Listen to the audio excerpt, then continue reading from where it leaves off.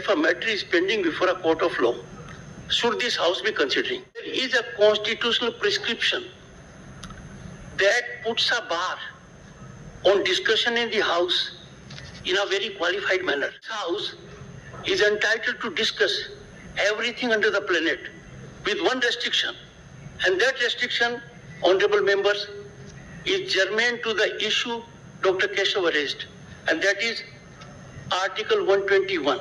Restriction on discussion in Parliament.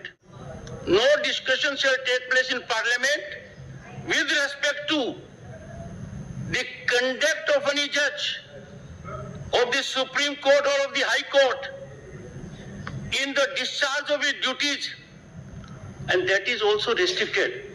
That can also be done, but there is another method, and that is except upon a motion for presenting address to the President praying for removal of the judge as hereinafter provided.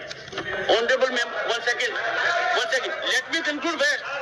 Let me conclude. Therefore, the concept of sub judice is totally misconceived.